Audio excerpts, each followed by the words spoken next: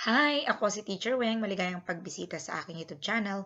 Sa video natin ngayong araw, ang topic natin ay Area of Composite Figure. Ayan. So, meron tayong isang figure dito at kukunin natin yung area. So, kung gusto nyo matutunan yung topic natin ngayong araw, keep on watching.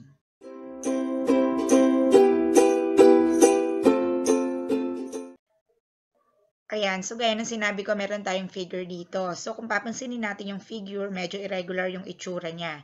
So, hindi natin siya basta-basta makakompute kung isang formula lang yung gagamitin natin. So, kapag nagko-compute tayo ng area of composite figure, ayan, kailangan natin ng tulong ng mga formula ng plane figures. So, ito, meron tayong apat na formula dito na madalas natin gagamitin. So, yung unang formula natin, ito ay area ng circle. Ito naman yung area ng square. Sa area naman ng rectangle ay ito and then ito para sa triangle. So, ang susunod natin gagawin, kailangan lang nating, um, kumbaga, lagyan ng boundary yung bawat shapes. Okay? Depende sa inyo kung paano nyo siya hahatiin. Pero ako, ayan, dito ko siya lalagyan ng hati. Ayan. Kasi pag naglagay ako ng hati dito, makakabuo ako ng semicircle. At pag naglagay naman ako ng hati dito, meron tayong triangle.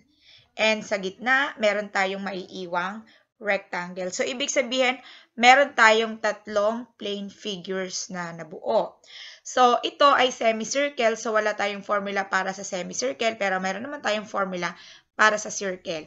Para makuha natin yung value ng area ng semicircle, kailangan lang natin computein yung area ng buong circle and divide natin sa 2. So, magsimula na tayo sa ating computation.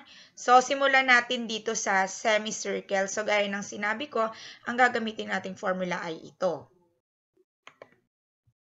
Ayan. So, ito yung gagamitin natin. Ibig sabihin, kailangan meron tayong radius. So, ano nga ba ang radius nung circle? Kung halimbawa, i-assume natin na buo siya.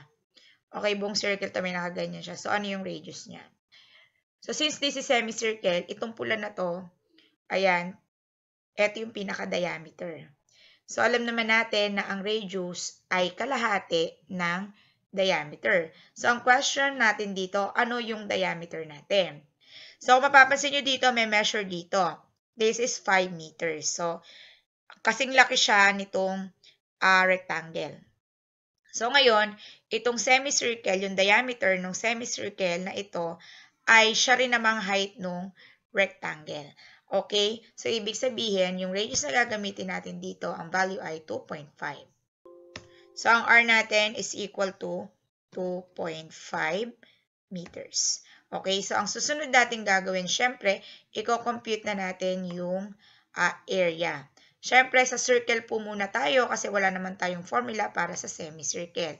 So, we have A is equal to, ayan, 2.5 square or pwede rin naman natin ilagay muna yung pi. Ayan, so by the way, yung value ng pi natin, ayan, lalagay muna natin si pi dito. Yung pi natin ay, ang value natin ay 3.14 kapag ka ni-round off. Kapag ka naman hindi ni-round off, medyo mahaba yung kanyang value. So, gagamit na lang po tayo ng calculator. So, we have, ayan, 2.5. And then, i-square po natin yan. Ayan. So, gamit tayo ng calculator para makuha natin yung value ng area ng circle. Ayan. So, meron tayo ditong scientific calculator. So, yung sinasabi ko kanina, yung value ng pi natin, eto po yon. Ayan. So, medyo mahaba siya. So, kung um, magmamano-mano tayo or manual computation, hindi tayo gagamit ng calculator, pwede natin gamitin yung value na 3.14. Pwede rin naman, hayaan nyo na lang po na pi yan. Okay? So, depende po sa instruction. So, imumultiply natin yan sa, okay, square ng 2.5. So, ayan, sa square natin. So, that is equal to, ayan. So, yan po yung nakuha nating value, 19.63 kapag ano-round off. So, since uh, yung value na yan ay para sa area ng circle, kailangan muna natin siyang i-divide sa 2. Pero bago yon isulat muna natin siya. Ayan. So, ito na po yung area ng circle, 19.63 square meter. So, bakit meron tayong square meter? Kasi, di ba yung R natin is 2.5 meters. So, hindi ko lang siya sinulat, pero ang totoo, may meters po dyan. So, kapag in-square mo yon magiging siyang meter square. So, para naman sa area ng semicircle, kung ano yung nakuha mong value na yan, i-divide mo lang yan sa 2. Okay? So, meron tayong 9.82 kapag ka ni-round off. Ito.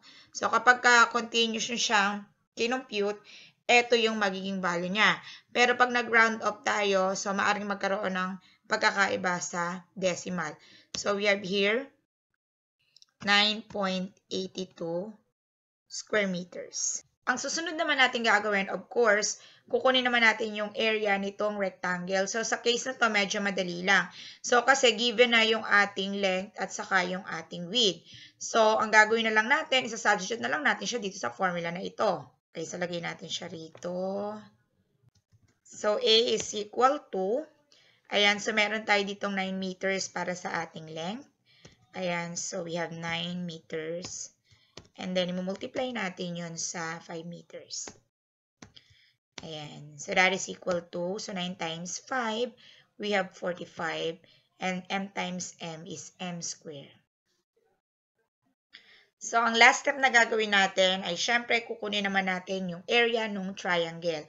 Of course, ang formula na susundan natin ay ito. Ayan. So, hindi naman masyadong mahirap yung pagdadaanan natin. Nakalagay dyan 1 half base times height. Yung base natin ay um, ito. Ayan. So, mula rito hanggang dito. Siyempre, hindi natin papakailaman ito. So, ang tanong na lang natin, ano yung sukat ng base ng triangle? So, simple lang po yung gagawin natin. Ayan. So, meron tayong 15 meters dito. So, meron tayong 9 meters dito. So, simple lang, 15 minus 9 para makuha mo yung remaining. So, 15 minus 9, we have 6.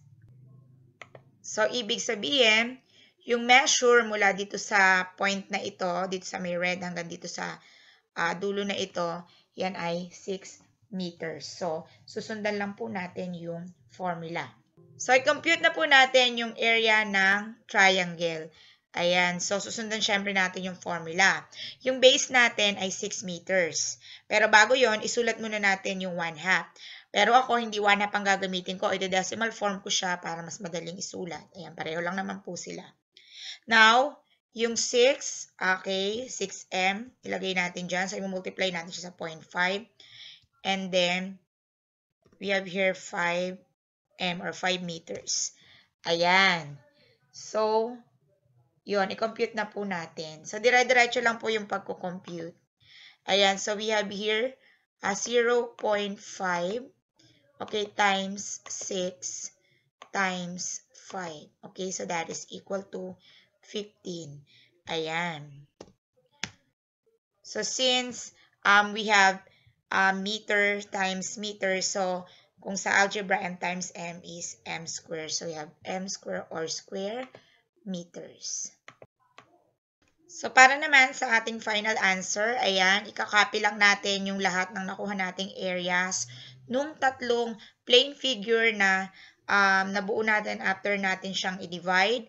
So, we have 9.82 square meter para dun sa area ng semicircle na ito. Pagkatapos, ito naman po, ayan, that is 45 square meter dito sa rectangle. And then, para naman sa triangle, we have 15 square meters. So, simple lang, i-add lang po natin silang lahat. Okay, so we have 15, okay, plus 45, plus 9.82. So, ang makukuha natin na value ay, ayan, 69.82. So, ang ating final answer para sa area ng composite figure na ito ay 69.82 square meter. Salamat sa panonood ng aking math tutorial video. Sana po ay marami kayong natutunan. Kung meron kayong mga request, math tutorial video, or any educational blog basta related sa channel ko, susubukan natin gawin yan. See you on my next one. Bye!